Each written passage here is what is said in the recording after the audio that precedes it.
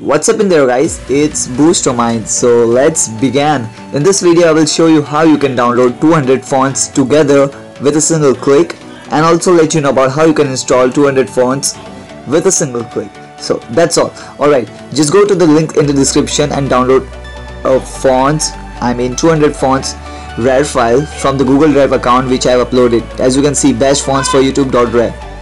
Alright, so this is the thing that you need to download there are so many fonts.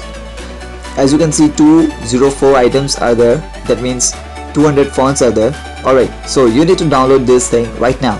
So just click on the download button over there.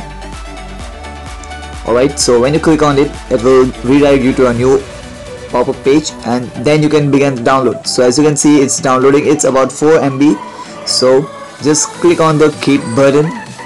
So it won't delete by itself because some Google terms and services. Alright so so first of all you need to create a folder. Yes about fonts. Just create a folder. Yes uh, it's font. Yes now just copy and paste this thing into this the folder. Alright open this folder. And now it's time to extract this RAR file. Alright you need to extract it up here. Alright so when you extract these files alright so now you have all 200 fonts in your PC right now at this moment. So you may be asking how should I install this all things to use in thumbnails? I mean how you can install and use it on your Photoshop or even notepad? So first of all you don't need to click each and every fonts and install it one by one. Just go to your control panel. Alright.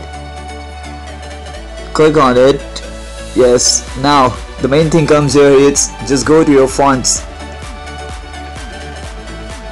Font settings. So as you can see it's it will show something like this. You need to click on this thing. Alright. Now the main thing comes here just keep it as same like this and you need to select all of these fonts which you wish to install. And deselect the folder. Right now it's about 200 fonts I have selected. Now I will just drag and drop this fonts from this to the settings. As you can see it will it is showing me the bold font is already installed. So by chance if you have already installed some of the fonts you can click on yes and it is installing right now. As you can see you have to drag and drop all the fonts from here to the control panel.